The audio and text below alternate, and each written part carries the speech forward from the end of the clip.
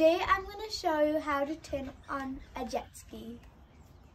So then you put the safety key, um, key in your hand and see this little key? You just slide it into this button by opening it and you eventually get this somehow. There you go. And then when you want to take it off, you just take it off by pulling it. Thank you. This is how you turn on the jet ski. Just press the start stop button and then press and hold.